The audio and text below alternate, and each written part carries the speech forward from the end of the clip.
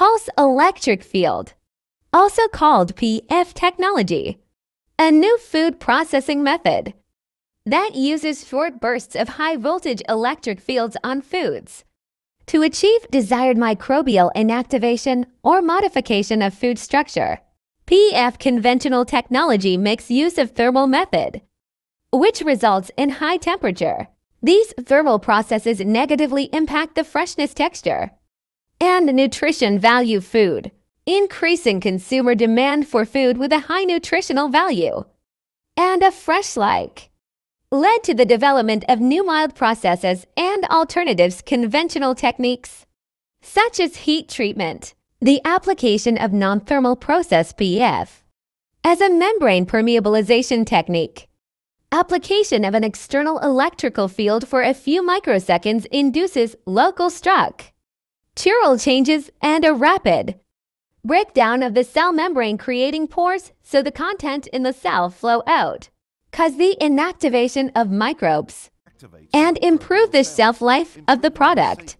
Advantages of PEF processing food include Maceration of grape skin during winemaking requires less time. When pretreated by PEF, also remove peels from fruits and vegetables like tomato. Improve the sensor sensorial properties, like shape, color, texture of foods by this innovative technique. This process improves the yield. That helps to extract juice with more purity and reduce microbial load. Sale and Hamilton developed a theory, Crowley theory, which states that the accumulation of charges with opposite polarity on both sides of the membrane leads to naturally occurring perpendicular transmembrane potential. In case of potatoes, when they are heated, the phospholipid layer melts and integrity is lost and fruit softens. Limitation It has limitation solid food, nor effective on liquids and semi-food. Whenever all potential exceeds the critical value of the electrocompressive force cause local dielectric. Rupture and form pore when pores widen and close back to their original position.